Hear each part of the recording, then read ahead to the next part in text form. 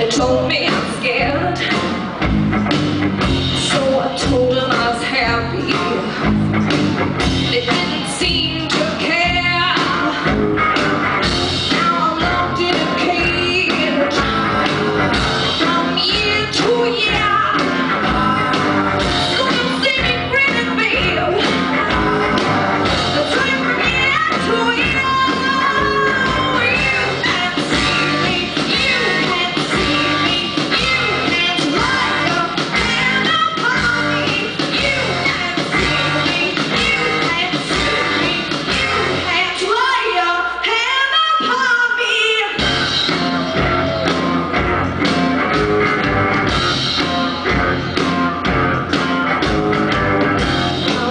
to the store.